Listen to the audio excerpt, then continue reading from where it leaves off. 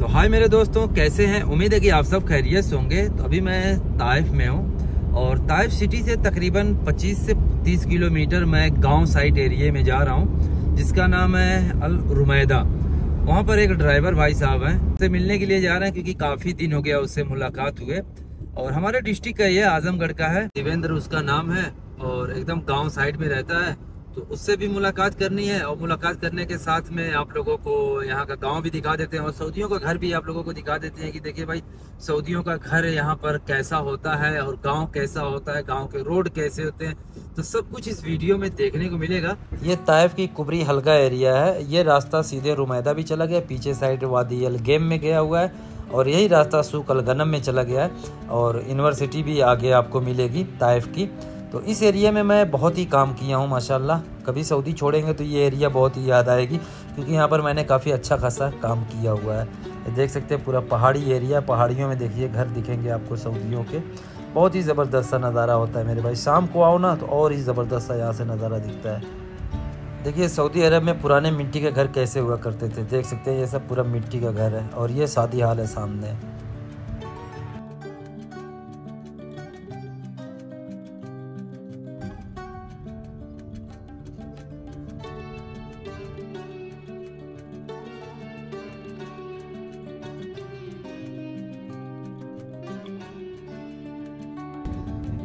ये जो बाउंड्री पूरी देख रहे हैं मेरे दोस्तों, ये रुमैदा की, यानी ताइफ की ये यूनिवर्सिटी है और अभी भी इसके अंदर काम चल ही रहा है। एकदम शहर से काफ़ी बाहर के एरिया में है और एक फ़्लाइट भी देखिए आ रही है क्योंकि ताइफ एयरपोर्ट यहीं पास में ही है।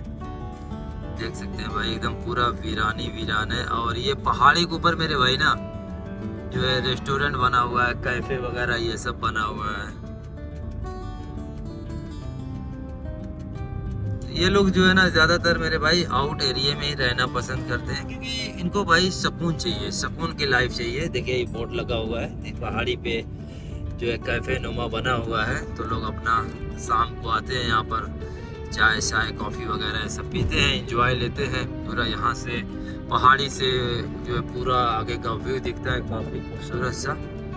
और इस रोड पे देखिए आउट साइड एरिया है, लेकिन इस रोड पे भी अस्सी की स्पीड दिया हुआ है।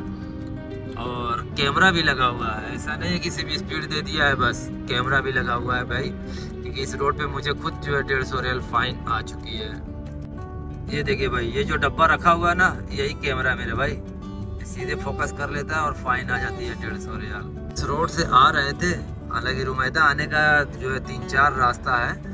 और ये देखिए, यहाँ पर आ चुके हैं। ये रुमैदा का गाँव एरिया पूरा है। और यहाँ पर मोड़ पे देखिए आपको सब्ज़ी चाय वगैरह की ये सब की दुकानें यहाँ पर आपको मिल जाएँगी। देखिए, ये पूरी चाय की दुकान है। देख सकते हैं, चाय, बिस्किट, नमकीन वगैरह, जो भी चाहिए मेरे भाई, सब कुछ मिल जाता है। ठीक है? और साग सब्ज़ी भी चाहिए, उसकी भी दुकान देखिए, यहाँ पर है। अभी फ़िलहाल बंद है, ये वाला जो झोपड़ा है। तो ये पूरी रुमैदा की एरिया है। देख सकते हैं कैसी एरिया ये साइड में तो कुछ भी नहीं है, लेकिन ये साइड में पूरी आबादियाँ और दुकान वगैरह ये सब मिलेंगी।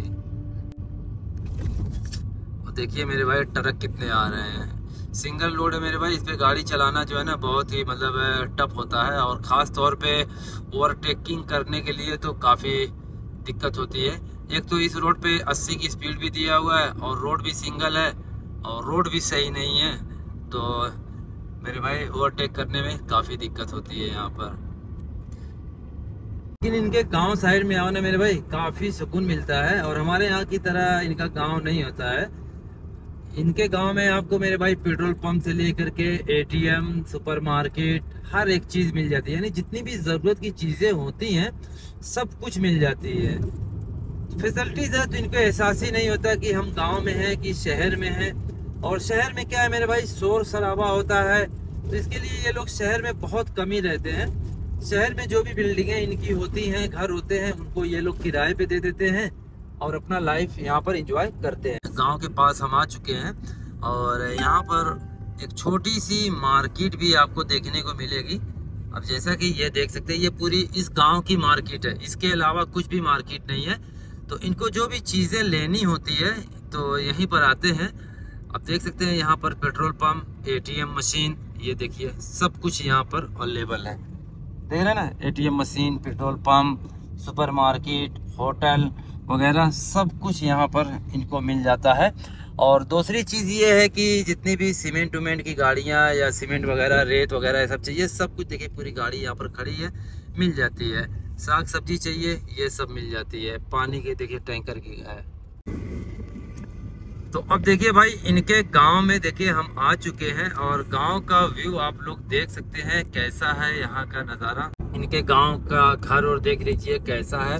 तो घर और तो मेरे भाई, ये लोग काफ़ी ज़बरदस्त बनाते हैं, कैमरा वैमरा सब कुछ लगा करके रखते हैं ये लोग। देख सकते हैं गाँव में बिजली का खंभा वगैरह, ये सब जो है कैसा है। और कुछ इक्का दुक्का दुकानें देखिए, यहाँ पर भी देखने को मिल जाती हैं। और देखिए गाड़ियाँ आ रही हैं, जा रही हैं। और गाँव के रास्ते कैसे हैं, देखिए पानी भी लगा हुआ है।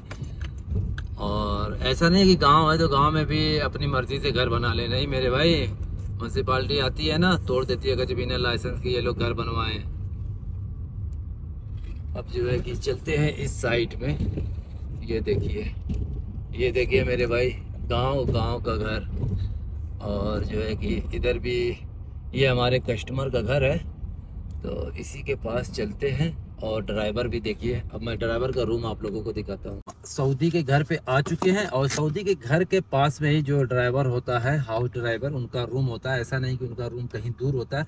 बहुत से ऐसे होते हैं जो सिटी के अंदर होते हैं तो उनके घर में जगह नहीं होती है या फैसिलिटीज़ नहीं होती है तो फिर वो कहीं दूसरी जगह रूम लेकर के दे देते हैं। लेकिन ज़्यादातर हाउस ड्राइवर का जो रूम होता है, घर के साथ में रूम होता है। ठीक है? तो आप लोगों को दिखाते हैं सऊदी का घर और जो है ड्राइवर का रूम भी दिखाते हैं। अब देखिए मेरे भाई, ये सऊदी का घर है। अब देखिए गाड़ी यहाँ पर बाहर खड़ी है और कुछ गाड़ी अंदर भी होगी। और ये सब पूरी एरिया देख सकते हैं, इनका गाँव कैसा होता है, ये देखिए। और ये ये जो है ना, सऊदी, इसके अंदर जो है सऊदी रहते हैं। और ये जो हाउस ड्राइवर है, ये उसका रूम है। और यहाँ पर देख सकते हैं, ये कैमरे वाला इंटरकॉम भी लगा हुआ है। तो दरवाज़ा टकटकाते हैं। आ, ये देखिए भाई ड्राइवर साहब सो रहे हैं। मौज इसी की है मेरे भाई। तो देख सकते हैं मेरे भैया जो है ड्राइवर साहब का रूम और रूम जो है मेरे भाई काफ़ी ज़बरदस्त सा इसका रूम इसका कफिल दिया हुआ है। ये किचन का सेटअप है देख सकते हैं। और ये फ्रिज भी है छोटी सी और ये भाई साहब का बेड है। और देवेंद्र मज़ा ले रहे हो हाँ? अपनी भी सब बढ़िया मेरे भाई। पूरा दिन, उसके बाद देखिए फिर यहाँ पर ये बाथरूम है। ये देखिए बाथरूम कैसा है। देखिए, ज़बरदस्त गीजर उजर सब कुछ साथ में लगा हुआ है। देवेंद्र भाई, क्या हाल चाल है? मौज तुम्हारी है। कफिल एकदम वीआईपी रूम दिया है, एकदम इंजॉय कर रहे हो। हाँ? तो हर ड्राइवर का रूम ऐसा ही होता है कि यदि तुम्हारा रूम ऐसा है? हाँ। सबका ऐसा नहीं होता, थोड़ा बहुत फ़र्क होता है ना? थोड़ा बहुत नहीं, बहुत फ़र्क होता बहुत फ़र्क होता। है सिटी में लोग रहते हैं तो सिटी में जैसे पार्क में रहना है हाँ। सिटी में रहेंगे तो वहाँ रूम बढ़िया मिलता है चार पाँच सौ रुपया महीने के लेते हैं वो रूम बढ़िया रहता है। बढ़िया रूम रहता है। लेकिन जो गाँव साइड में होता है साइड में रहते हैं तो अधिकतर करकट मिलता है जैसे घर के तरह अच्छा करकट वाला। हाँ। लेकिन ये तुम्हारा तो बहुत बेहतरीन है। पक्का पूरा बनाया हुआ है। तो कंबल उम्बल क्या लपेट रहे हो? छोड़ो जाने दो जब अकेले ही रहना है। अच्छा सोने के लिए? अच्छा अच्छा चलिए भाई। और सब मज़े में सब ठीक ठाक? तो कपिल कैसा है तुम्हारा? फिर राजा मनाई है बैठा है। किधर बैठा है? अच्छा अच्छा अभी ड्यूटी से आया है? क्या कुछ रखे हो क्या? अरे भाई अनार खिला रहे हैं। ज़बरदस्त। कहाँ से लाया भाई अनार? मजरा से है। अच्छा मजरा? मजरा भाई मेरे भाई जो खेती होती है ना खेती से लेकर के आए हुए हैं। देख सकते हैं मेरे भाई ज़बरदस्त सा। मेरे भाई देखें, कितना ज़बरदस्त सा रूम जो है ड्राइवर का होता है। बहुत कम ही ऐसे लोग होते हैं जिनका रूम खराब होता है। वही मैं आपको बताया ना कि सिटी के अंदर अगर जो है तो भाई सिटी के अंदर तो खुद किराए पे लेकर के रहते हैं तो ड्राइवर का रूम कहाँ से देंगे? तो ड्राइवर को भी वो लोग जो है कि रूम किराए पर ही लेकर के देते हैं। लेकिन ये जो ये मानो सबसे बढ़िया है ताइफ में हाँ। इतना है कि सऊदी बढ़िया बड़ा बड़ा रूम देते जी हाँ। रियाद दमाम खमीस हाँ। जाओ छोटा छोटा रूम मिलता है एक एक बेड का। एक एक बेड का रूम मिलता है ना सिटी के अंदर? असल बात क्या सिटी के अंदर जो है महँगा होता है ना और गाँव साइड एरिया में क्या होता है कि इनकी अफराद जगह होती है अपना घर भी बनाते हैं साइड में जो है ड्राइवर के लिए रूम भी बना देते हैं और नौकरानी का भी रूम बना देते हैं। लेकिन सिटी के अंदर मेरे भाई वो खुद किराए पे होते हैं इसके लिए। ताज में नौकरानी पे इतना ही बड़ा है। हाँ, इतना बड़ा बेड इतना बड़ा ही रहता है हाँ। इतना ही बड़ा लमसम जो है कि नौकरानी का भी यहाँ पर रूम होता है। नौकरानी वही जिसे खदामा कहते हैं तो काफ़ी जो है ज़बरदस्त सा होता है। और खाना पीना ड्राइवर में किसका होता है? देवेंद्र जरा बताओगे? खाना पीना जिसे जो बीजा देता है। हाँ। जो बीजा देता है तो अधिकतर इतफाक करता है तो पंद्रह सौ प्लस तीन सौ खाना कराता है उसको बोलते हैं अठारह सौ। यानी पंद्रह सौ तनख्वाह और तीन सौ रियाल खाने का तो अठारह सौ रियाल। हाँ। या कोई कोई कपिल मैं सुना हो कि वो पैसे नहीं देता है वो सीधे खाना देता है? वो यहाँ नहीं यहाँ नहीं है वो सिस्टम कतर में है कुवैत अच्छा कतर में कुवैत में। वो सऊदी खाना देते हैं। हाँ। लेकिन यहाँ पे जो है तीन सौ रियाल तुमको अलग से दे देंगे। हाँ। अब चाहे तीन सौ हो। हम्म। जैसे हम हैं अब हमको यहाँ खुद जाएँगे हाँ। पे आएँगे। हाँ। तो अठारह सौ प्लस तीन सौ रहेगा। अच्छा। यानी फ़र्स्ट टाइम अगर जो आ रहे हो तो पंद्रह सौ प्लस तीन सौ। अगर जो पुराने हो गए हैं तो अट्ठारह सौ प्लस तीन सौ। यानी इक्कीस सौ रियाल के आसपास में। तो इक्कीस सौ रियाल का तो मतलब इंडिया का कितना बन जाता है आज की डेट में? चालीस पैंतालीस छियालीस हज़ार रुपये ना? चौवालीस पैंतालीस पैंतालीस है। यानी पैंतालीस हज़ार रुपया बन जाता है। तो दिवेंद्र एक चीज़ बताओ हाँ। कि ड्राइवर में हाउस ड्राइवर में लमसम लमसम आदमी की मान लो का जो पंद्रह सौ रियाल तनख्वाह है तो कितना रियाल वो महीने का बचा लेता होगा? पंद्रह सौ पूरा।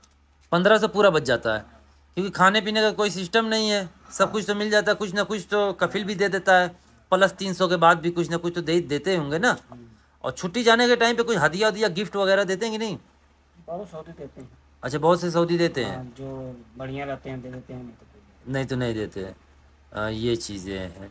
जैसे हमारा कपिलवा भरवा है हाँ। वाला है हाँ। उसका सरुआ वहाँ का है सिद्धार्थ नगर सिद्धार्थ नगर वहाँ का है तो दे ले पूरा सोने का सब कुछ दे ले अच्छा गोल्ड वोल्ड भी दिया था? कुछ कपड़ा लगता सब दिया सब दिया था।